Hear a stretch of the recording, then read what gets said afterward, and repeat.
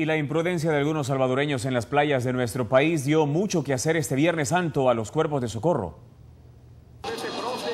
Año con año, las autoridades de protección civil, en conjunto con los diferentes cuerpos de socorro, piden a la población acatar las recomendaciones que se hacen en periodos vacacionales. Una de ellas es, si ingieren bebidas alcohólicas, no ingresar al mar, pero muchos hacen caso omiso de esto y para muestra estas imágenes.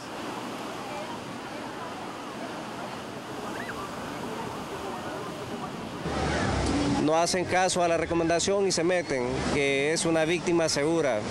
Y es que solo esta mañana los miembros de Cruz Roja Salvadoreña destacados en la playa El Majagual reportaron 20 rescates entre simples y profundos, entre ellos por la ingesta de alcohol y por algunos jóvenes que sin saber nadar o por ingresar en aguas profundas ponen en riesgo sus vidas. Cuando un compañero guardavidas viene y le pita, significa que le está llamando la atención y que se salga del lugar donde se le está pitando, ¿verdad? ¿Y por qué? Porque en ese lugar hay un posible peligro, hay una corriente. Pero también existen padres y madres que son responsables y saben que si llevan a sus hijos a las playas, balnearios o centros turísticos, deben estar al pendiente de los pequeños nos podemos descuidar de nuestros hijos y hay que recordar las consecuencias, ¿verdad? Así que es bueno tener en cuenta eso, estar pendiente, lo más pendiente de nuestros hijos.